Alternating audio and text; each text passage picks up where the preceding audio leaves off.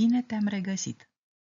Astăzi te voi îndruma cu ajutorul fișei de activitate în realizarea unei activități practice cu ajutorul căreia vei putea fixa cunoștințele legate de cromozomi.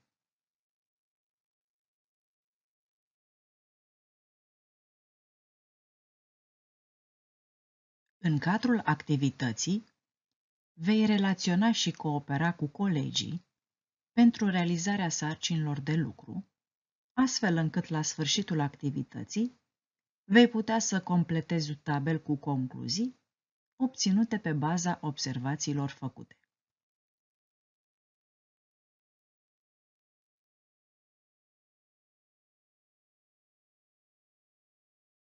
Pentru această activitate practică, îți propun fișa următoare. Citește instrucțiunile, mânuiește cu atenție materiale folosite și notează pe caiet etapele de lucru. Timpul alocat întregii activități este de 30 de minute.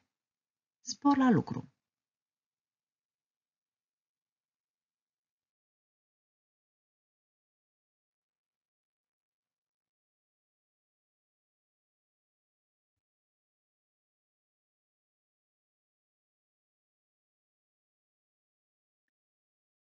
În aceste imagini sunt reprezentați un cromozom monocromatidic și unul bicromatidic.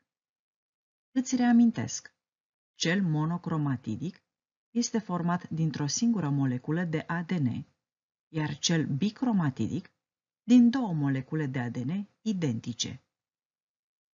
Cele două cromatide identice se vor separa în timpul diviziunii celulare și vor ajunge în fiecare dintre celulele fice rezultate în urma acestui proces. Realizează modelul tău folosind imaginile drept inspirație.